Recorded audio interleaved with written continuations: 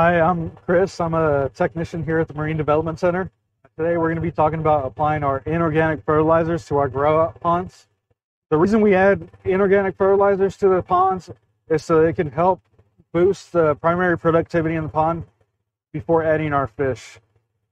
Adding our inorganics provides the resources necessary to boost the growth of phytoplankton, which then allows adequate food source for our zooplankton, which then is our future food source for the fish once we add them to the pond.